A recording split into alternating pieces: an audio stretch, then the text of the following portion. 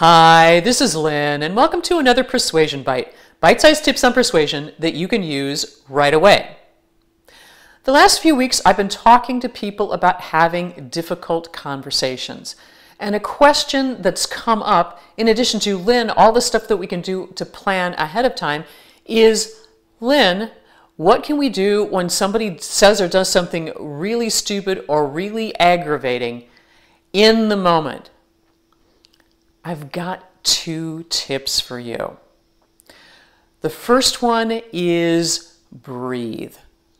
Because here's the truth when we're under stress, a lot of times we hold our breath. And that just contributes to us feeling overwhelmed. The most calming breath that you can take is to inhale for a certain number of beats and then to exhale for twice that amount. As a matter of fact, let's do that together. We're going to inhale for three and exhale for six. Okay, inhale 1001, 1002, 1003. Exhale 1001, 1002, 1003, 1004, 1005, 1006. You can probably feel your body calming down already. So, first tip breathe. Second tip something I've invented that I call the brown thought cloud.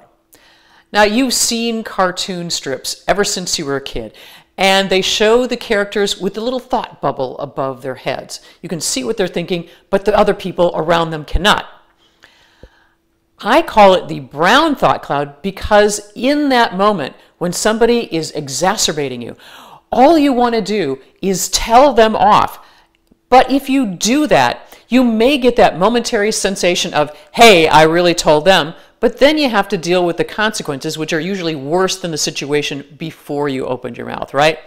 Here's what you do instead you picture that brown thought cloud above your head, like the thought bubble in the cartoon strip, and you fill it with all the nasty, snarky, sarcastic stuff you would really love to say to this person, but you don't want to get yourself in trouble.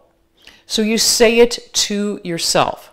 What this does is it takes this energy of, of, anger and trapness and pulls it out of you and gives it a place to go, which is floating above your head.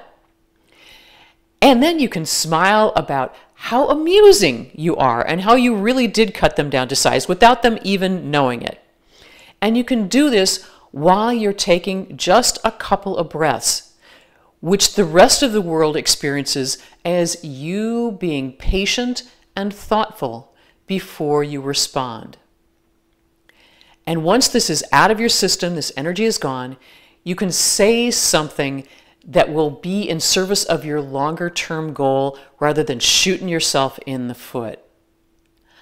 I do this a lot. And people say, Lynne, you're so patient. No, uh, crazy stuff is floating above my head, but that's how I get through the situation.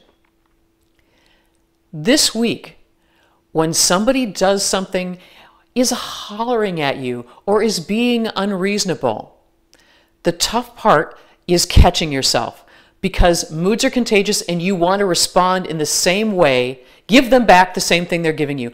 Don't do that. Make the better choice. First, take that deep and calming breath. Second, use the brown thought cloud.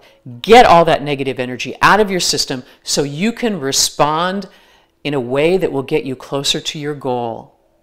And when you do that, people will perceive you as the most persuasive person in the room.